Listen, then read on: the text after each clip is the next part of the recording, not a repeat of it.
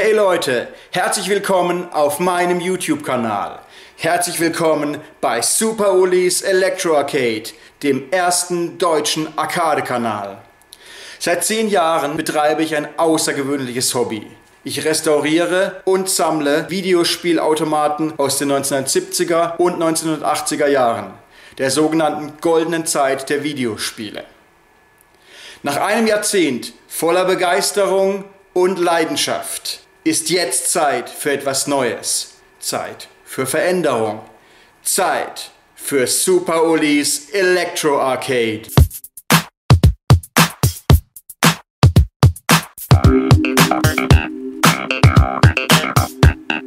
Neunzehnhunderteinundsiebzig war ein guter Jahrgang.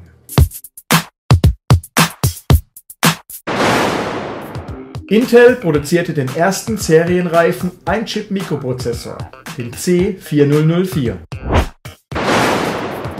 Produzent, Drehbuchautor und Regisseur George Lucas drehte seinen ersten Spielfilm, THX 1138. Wenige Jahre später sollte Lucas durch Star Wars weltberühmt werden. Nothing Associates veröffentlichte das erste kommerzielle münzbetriebene Arcade-Spiel der Welt, Computer Space. Ach ja, fast hätte ich es vergessen. Am 19. Februar 1971 wurde ich geboren. Ich hatte vermutlich die schönste Kindheit, die man sich nur vorstellen kann. Zog mit meiner Bande durch die Straßen unserer kleinen Stadt, liebte das Abenteuer. Auch elektronisch denn mit 10 bekam ich ein Atari 2600. Das Vectrex kaufte ich mit 12. Zwei Jahre später einen Commodore 64. In dieser Zeit wurde ein Traum geboren. Lange glaubte ich, es würde für immer einer bleiben. Bis heute. Jetzt, im neuen Jahrtausend, lebe ich den Arcade-Traum.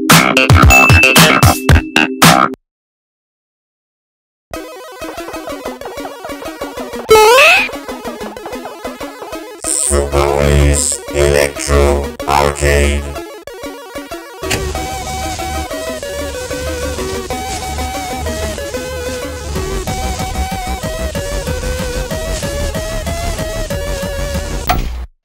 Lange hatte ich nach einem Eigenheim gesucht, das mir genügend Platz zum Leben und zum Ausüben meiner Hobbys bieten würde.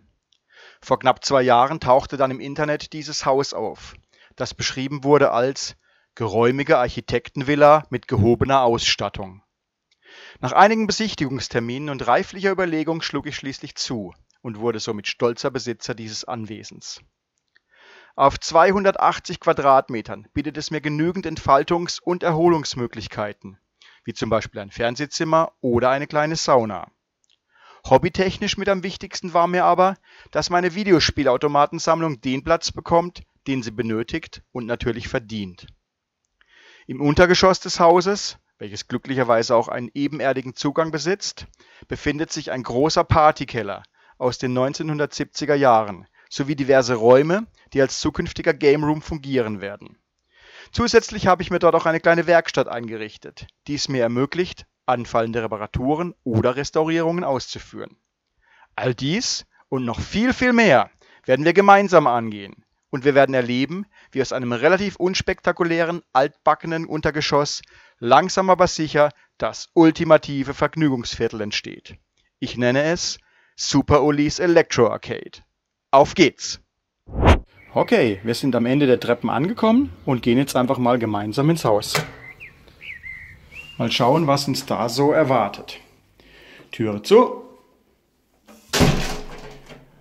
Gut, durch einen kleinen Windfang kommen wir in einen großen Raum, in einen geräumigen Raum, den wir einfach nur die Halle nennen. Die Halle ist eigentlich ein sehr heller Raum. Ich muss dabei hinten die Rollläden mal runterlassen, ähm, weil es sonst Probleme beim Filmen mit dem Gegenlicht gegeben hätte.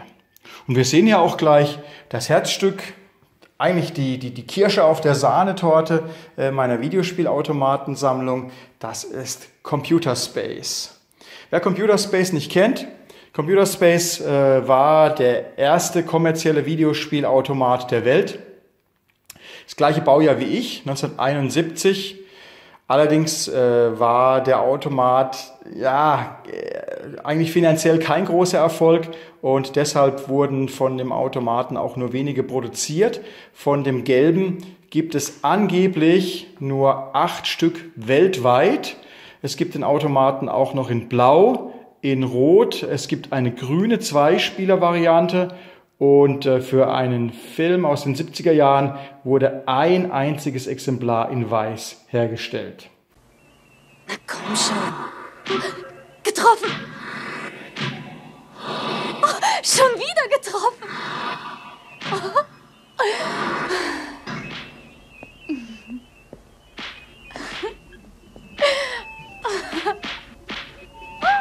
Ich höre es gerne, wenn du lachst, Sharon. Komm und spiel mit. Nein, danke. Ich danke dir für dieses Spiel hier. Es freut mich, dass es dir Spaß macht. Der Automat selbst ist in funktionsfähigem Zustand. Er ist in wirklich hervorragendem Zustand, hat allerdings ein Problem, nämlich äh, das Problem, das erkennen wir hier, sehen wir hier, nämlich der Bildschirm, der Fernseher, der verwendet wurde, ist doch recht schwach und sollte dringend mal überarbeitet werden. Wir werden uns mit Computer Space äh, in einer späteren Folge, in einem späteren Video genauer beschäftigen. Wir werden das Problem des Fernsehers angehen, aber für jetzt äh, hat der Automat hier in der Halle einen wirklich hervorragenden Platz gefunden und äh, ja, löst doch bei Besuchern, die zu uns kommen, ja, äh, eine gewisse Form von Begeisterung aus. Gut, äh, aus der Halle geht es in diverse andere Räume. Unter anderem geht es auch hier die Treppen nach unten in den Keller, ins Erdgeschoss. Und dort wird mein zukünftiges Automatenzimmer sein, mein Game Room to be. Und den Iststand, den werden wir uns jetzt mal anschauen. So, ich möchte euch jetzt mal eine Führung durch das zukünftige Automatenzimmer geben, so wie es da momentan drin ausschaut. Gemacht worden ist noch nichts, außer ein paar Automaten reingestellt, sodass man mal ungefähr eine Idee hat, wie das aussehen könnte. Wir machen mal die Tür auf. Die Tür wird später übrigens ersetzt durch eine Rolltür, Falltür, weil die sonst gleich gegen die Automaten knallt, wenn man reinkommt. Wir haben hier ein Cubert stehen. Neben dem Cubert Gallagher. Dann diese eingetütete Kiste ist der Centipede. Der ist deswegen äh, verhüllt, weil der schon fertig restauriert ist, dass er nicht schmutzig wird. Dann haben wir daneben einen Tempest, vollkommen unrestauriert, aber wirklich in tollem, originalem Zustand. Dann gehen wir links vorbei, schauen mal den Gang runter. Da steht ein Klacks in den Klacks kommt dann noch eine Tetris-Platine rein und mit einem Umschalter kann man dann zwischen den zwei wirklich tollen Puzzlespielen äh, ja, wählen. Daneben steht Berserk, der hat auch noch ein Frenzy-Kit installiert. Dann kommt der Crystal Castles. Äh, für mich mit der geilste Automat überhaupt, weil das Artwork ist einfach überragend. Das bin ich, Uli. Schaut euch das mal an. Okay. Dann haben wir in Asteroids. Naja, in wirklich schrecklichem Zustand. Panel total verrostet. Aber da habe ich auch ein Repro aus den USA. Und ganz in der Ecke steht noch Tepper. Ah, ich liebe dieses Spiel. Diesen tollen Ausschank-Joysticks hier. Okay, auf der anderen Seite haben wir einen Missile Command. Daneben Klassiker schlechthin, Pac-Man, auch schon fertig restauriert. Dann den Moon Patrol. Moon Patrol war das allererste Spiel, das ich jemals gespielt habe. Das allererste Arcade-Spiel stand bei uns damals auf dem Altstadtfest. Natürlich in keiner Dedicated Form. Aber ich erinnere mich noch sehr gut daran, da viele Mark versenkt zu haben. Und schließlich noch ein Gravitar. Okay, und wenn wir jetzt mal zurückschauen hier, dann sehen wir natürlich gleich eine gewisse Problematik, nämlich das ganze Ding ist sehr, sehr eng. Also zwischen dem Berserk hier und dem Gravitar sind es circa 60 Zentimeter. Das heißt, ähm, wird sehr schwierig werden, dass äh, da zwei Leute gleichzeitig an den Automaten spielen. Und, äh, wenn man einen Stuhl reinstellt, dann ja, wird es ein ziemliches Gesteige und Geschiebe und damit bin ich eigentlich nicht zufrieden. Gucken nochmal zurück. Die andere Seite, wo wir reingekommen sind.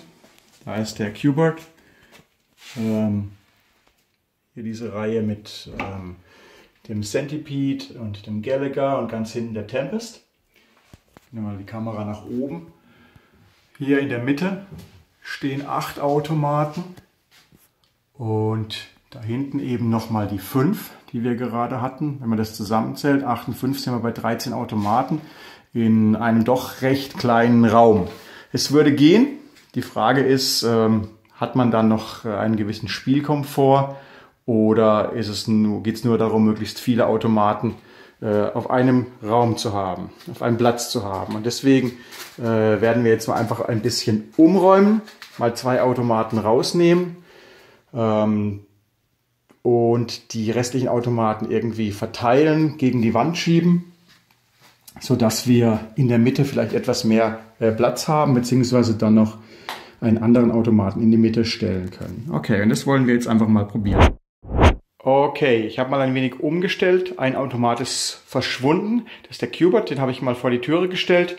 Hat keinen bestimmten Grund, außer der Tatsache, dass er einfach am nächsten an der Türe stand.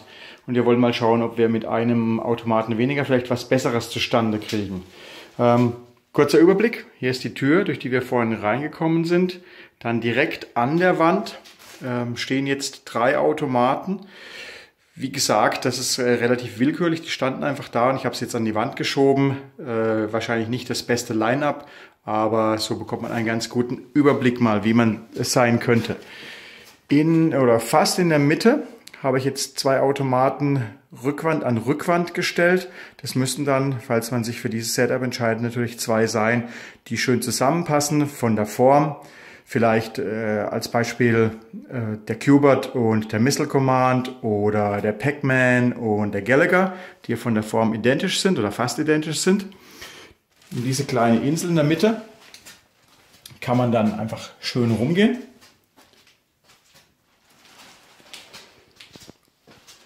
Und äh, der Vorteil von der Geschichte ist, dass man A, die wunderbaren Artworks bestaunen kann und äh, B, wenn ich jetzt hier zum Beispiel an einem dieser Automaten spiele, dann besteht überhaupt nicht Gefahr, dass jemand hinter mir spielt, weil ja die Automaten um 90 Grad gedreht dann dagegen stehen. Okay, wir drehen uns um. Da habe ich jetzt zum Beispiel den Pac-Man und den Gallagher auch direkt an die Wand geschoben. Und äh, Hinten diese Fünferreihe, die wir vorhin auch schon hatten, die bleibt im Prinzip bestehen. Auch hier habe ich jetzt mal ganz kurz äh, was geändert vom Line-Up, aber das ist nicht so wild. Das soll ja nur helfen, einen Überblick zu bekommen. Das Problem vorhin war eben dieser Gang, der nur 60 cm breit ist. Hm, um ehrlich zu sein, ist der jetzt auch nicht wirklich breiter, vielleicht ein paar Zentimeter. Allerdings, wie gesagt, äh, hier eben diese, dieser Vorteil, dass man sich, wenn man an den Geräten spielt, äh, nicht in die Quere kommt, nicht mit dem Hintern aneinander bümmelt, weil hier ja überhaupt nicht gespielt werden kann. Äh, und hier, wo diese Gefahr besteht, dass man aneinander eimert, da ist es natürlich so, dass der Abstand etwas größer ist, so dass man da schon ganz gut spielen könnte. Diese drei Automaten, also hier eins, zwei und drei, die stehen in einer Flucht, in einer Linie, oder sollten sie zumindest, so dass man da auch zumindest ein, ein gewisses System, eine gewisse Linienführung drin hat. Und äh, der Automat am Ende, der steht dann quasi in der Flucht von dieser Linie hier. Gefällt mir äh, ehrlich gesagt einen Ticken besser. Ich habe das Gefühl, es wirkt etwas geräumiger. Liegt vielleicht auch daran, dass einfach ein Automat fehlt. Was schade ist, aber naja gut. Äh, es geht ja darum, dass äh, es ein Game Room ist, in dem man gerne geht zum Spiel und nicht, wo man sich reinquetschen muss und Gefahr läuft, dass man vielleicht auch gar nicht mehr rauskommt, weil es einfach viel zu eng ist. Mal schauen, ob wir noch eine andere Möglichkeit finden. So, ich bin zurück. Ich habe das letzte Setup erstmal beibehalten, habe allerdings die Caps ein bisschen äh, rumgeschoben und ausgetauscht, äh, so wie ich es vielleicht später mir vorstellen könnte. Schauen wir uns das mal an. Erste, was ich gemacht habe, ist äh, ja die Tür ausgehängt. Da kommt ja wie gesagt später eine Rolltür oder eine Falltür, Falltür hin. Und wenn man die öffnet, dass man, das ist quasi der, der erste Eindruck, den man hat. Man schaut direkt auf äh, ja, eines der klassischsten Cabs überhaupt, Pac-Man-Automat. Und daneben, weil die so schön zusammenpassen, ähm, steht dann der Gallagher. Der sieht jetzt höher aus, ist aber in Wirklichkeit gleich hoch. Ich habe den gerade nur auf ein Rollbrett gesetzt, um den besser bewegen zu können, weil da noch keine schönen äh, Leg Levelers aus Nylon, Nylon, naja, was immer auch drunter sind. Also, die beiden Automaten hier äh, direkt an der Wand. In die Mitte habe ich jetzt mal den Qbert und den Missile Command gestellt. Die sind nicht so hoch, hat den Vorteil, dass man, das ist ungefähr meine Sichthöhe, 1,80 Meter bin ich, dass man auch die Automaten dahinter gleich schön sehen kann, die nicht verdeckt werden, wenn man reinkommt. Wir haben hier, wie ich vorhin schon erwähnte, diese Insel in der Mitte, um die ich rumlaufen kann. So, bin ich jetzt gleich wieder am Anfang. Dann hier an der Wand äh, steht der Crystal Castles, den habe ich deswegen gleich neben den Eingang gestellt, weil, oder damit man dieses wunderbare Artwork auch auf der Seite bewundern kann. Daneben der Moon Patrol. Und ganz in der Ecke steht gerade aktuell der Gravitar, wobei ich glaube, dass der nicht den Weg in den Game Room finden wird. Genauso wie der Tempest, der steht momentan auch draußen. Vielleicht dazu später mehr. Okay, und wenn wir uns umdrehen, dann haben wir die bekannte Reihe von vorhin schon. Den Klacks, den Berserk, den Asteroids, der auch ganz riesig aussieht, aber ebenso auf Rollen steht. Und dann haben wir den Centipede nebendran und in der Ecke steht der Tepper. Und die Ecke gefällt mir eigentlich recht gut. Kann man auch wunderbar hier einen Barhocker reinstellen, habe ich gerade mal gemacht damit man quasi das Gefühl hat, ja, das Spiel geht ja um einen Barkeeper, dass man das Gefühl hat, an der Bar auch gleich zu sitzen. Also, jetzt habe ich hier, gehen wir noch mal kurz durch, eins, zwei, drei, vier, fünf Automaten, sechs, sieben, acht, neun, zehn und in der Mitte noch die beiden Automaten 11, 12 ein bisschen weniger, als ich ursprünglich gedacht hatte. Als äh, ich hier eingezogen bin in das Haus, hatte ich gedacht, okay, vielleicht bringe ich in den Game Room mit ein bisschen Quetschen 17 Automaten rein. Naja, aus 17 wurden jetzt 12. Ist äh, besser als nichts äh, und gefällt mir so vom Setup doch eigentlich ziemlich gut. Wir haben noch immer recht enge Gassen zwischen den Caps, aber mein Gott, man kann nicht alles haben. So, vielleicht habe ich noch eine andere Idee. Mal wieder auf den Nachdenksessel gehen. Eine Sache vergaß ich noch zu erwähnen. Ich sagte ja vorhin, dass der äh, Gravita sehr wahrscheinlich den Game Room verlassen wird.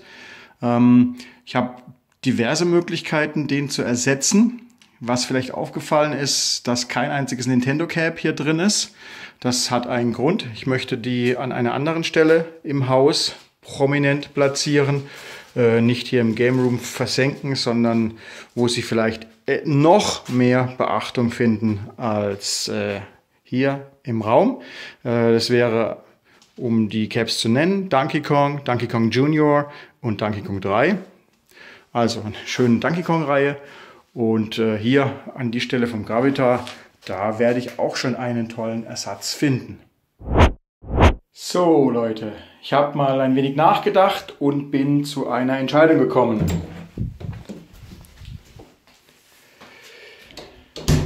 Dieser Raum hier ist einfach zu klein.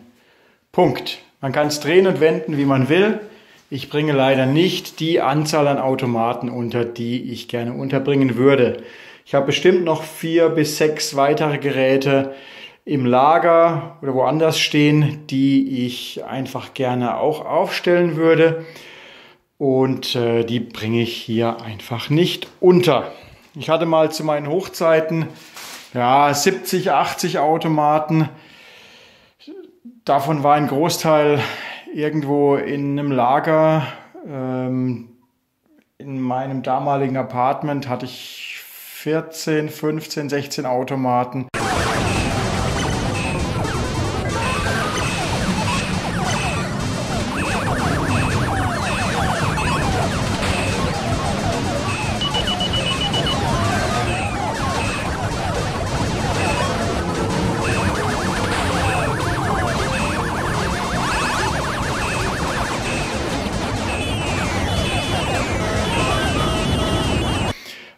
Ähm, und inzwischen habe ich einen Großteil davon verkauft. Ich habe jetzt vielleicht noch 20 ähm, und die würde ich ganz gerne auch aufstellen. Jetzt natürlich die Frage, was tun? Ähm, ich meine, das Thema kann man nicht größer machen. Äh, ich bringe auch wirklich nicht mehr unter. Aber ich hatte eine Idee.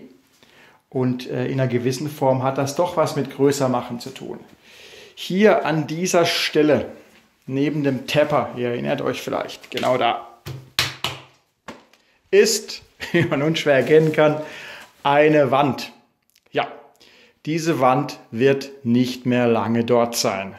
Denn ja, in einer guten Woche werde ich zusammen mit zwei Kollegen einen Durchbruch durch diese Wand durchführen. Äh, die Wand kommt nicht ganz weg, sondern wir werden nur einen Durchgang im Prinzip äh, schaffen, so dass man von dort in ein anderes Zimmer gehen kann. Und wie es dort ausschaut oder wo das hinführt, das zeige ich euch jetzt mal. So, also gehen wir hier raus. An der hübschen kleinen Sauna vorbei. Durch die nicht so hübsche Waschküche. Und äh, nebendran ist dieser Raum. Licht an und rein. Ja, das sieht doch nach absoluter Ordnung aus. Hier sollte ursprünglich mal meine Werkstatt rein. Es ist momentan ein, ja, ein Lager, wo ich äh, die ganzen Ersatzteile unterbringe. Und äh, wenn wir uns mal umdrehen, dann ist hier ein wunderschöner Schrank. Und genau da von hier bis hier ungefähr, hinten dran, da werden wir den Durchbruch durchführen. Äh, der Raum ist nicht sonderlich groß. Ich denke mal, es sind vielleicht 9 Quadratmeter, aber ähm, von der Größe ist es so, dass ich hier an der hinteren Wand vier Automaten nebeneinander hinbringe. Und äh, wenn wir uns umdrehen, vor dieser Tür. Die, die wird dann auch ausgewechselt, kommt eine Falttür rein und äh, die soll dann nur noch dazu da sein, wenn mal was kaputt ist, dass man hier auch schnell rauskommt. Also auch auf der Seite würde ich vier Automaten unterbringen. Und dann hätten wir in diesem kleinen Raum acht neue Stellplätze geschaffen. Das klingt doch eigentlich nicht so schlecht. Wir gehen mal wieder zurück in das andere Zimmer.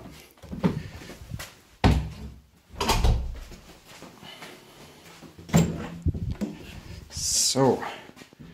Und dann nochmal ganz kurz zusammengefasst, hätten wir hier in diesem Raum, je nachdem wie wir es stellen, 12 Automaten, 13 Automaten. Und äh, wir haben hier dann einen Durchgang, da kommt keine Tür rein, es wird lediglich ein, ein Durchgang geschaffen von 80 cm Breite. Und da können wir dann in den anderen Raum gehen und haben da eben nochmal acht Automaten stehen. Ich denke, das ist okay. Das sind dann insgesamt 20 Stück. Ich glaube, das ist äh, für eine Ein-Mann-Show auch vernünftig. Das ist handelbar. Äh, es gibt Leute, die haben 100, 120, 150 Automaten und da fragt man sich schon, wie äh, wollen die die jemals am Laufen haben, am Laufen halten geschweige denn die auch irgendwo aufstellen. Also man muss da in diesem Hobby auch ein wenig realistisch bleiben. Ähm, wie gesagt, ich hatte auch mal eine Vielzahl an Automaten und habe das inzwischen so stark reduziert, dass ich auch sagen kann, ich habe eigentlich die Geräte, die ich haben möchte und äh, damit bin ich auch sehr zufrieden. Also, in der nächsten Woche äh, wird der Durchbruch gemacht und vorher gilt es aber erstmal diesen Raum und auch den anderen Raum äh, vollkommen leer zu räumen, denn das wird eine Riesensauerei werden. Ja, und da freue ich mich schon drauf. Wie Schnitzel.